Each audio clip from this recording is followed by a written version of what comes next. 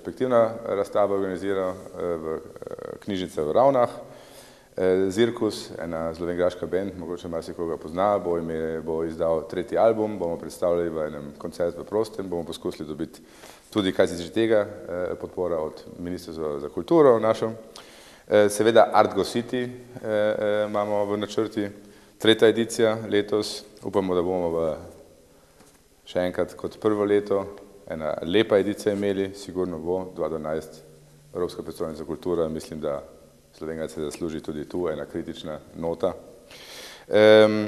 V KGLU bomo organizirali Towards Nature, to je pravzaprav en umetnost in narava, ena senzibiliziranje tudi v, v, v ta smer.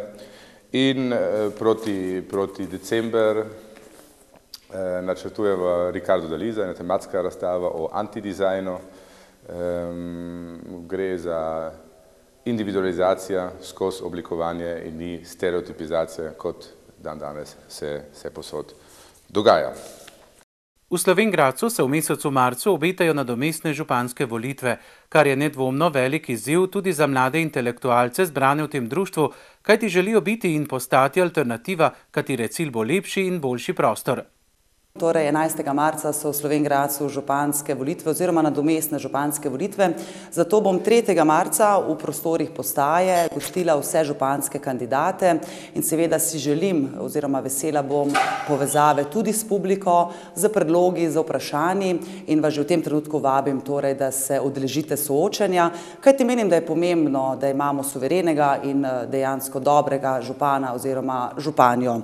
No, to je pomembno torej za nas Korošce na neki lokalni ravni, če tako, če lahko tako rečem, medtem ko na nacionalni ravni gostimo resnično eminentne osebe in sicer preko dialogov. Torej dialogi, ki so vezani na naš kraj, torej na Slovenj Gradec, kot glasnika mesta miru so na temo človekove pravice v civilizirani družbi Matjaž Hanžek in Žon Cigler. Franc Žnidaršič in Leonard Zajler na temo menjava paradigem, Borut Pahor in predsednik države Danilo Trk, Žak Fresko in Roksen Midovs na temo pomen vizije v realnosti.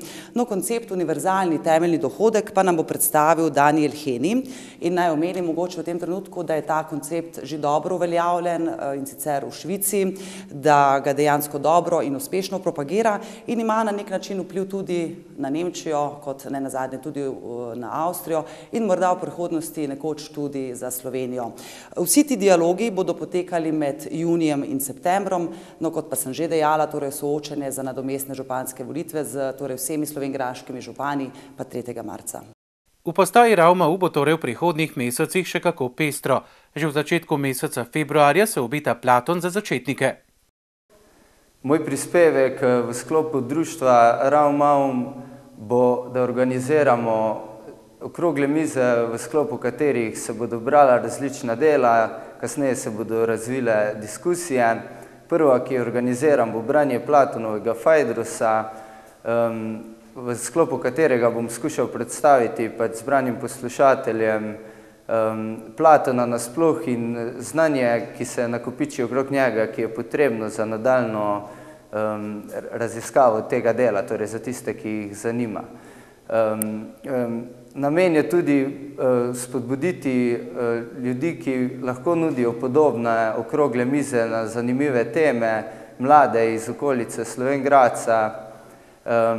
Drugi del je pa povabiti ugledne goste, poznavalce ali celo strokovnjake na raznem področju. Sam bom poizkušal iz smeri filozofije, drugi člani bodo poizkušali iz svojih kanalov, preko katerih imajo veze, organizirati takšna srečanja, diskusije, morda večerja in da zaživi Slovenj Gradec na, na, na tem področju. V svetu so delavnice poslikave telesa že nekaj vsakdanjega, pri nas pa te vsebine šele dodobra spoznavamo.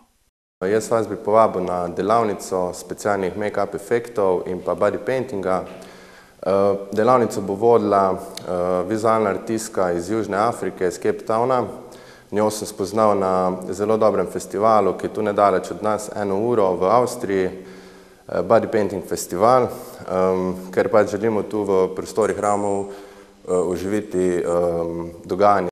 Glede ogrevanja imajo kulturniki poseben načrt. Nameravajo namreč postaviti peč na les in zato prošnja predsednika društva Ravmau. Letos bi se naj eh, naredil tudi ogrevanje in eh, nagovarjam vas, eh, spoštovani občane, k pomoči, da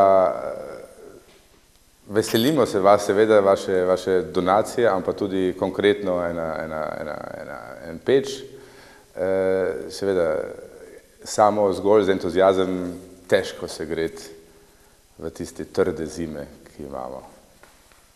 V društvu so program za letošnje leto razdelili na redno delovanje, torej na dogodke v postaji in izven nje, in z njimi bodo prav gotovo še popestrili kulturno in siceršnje dogajanje na Koroškem.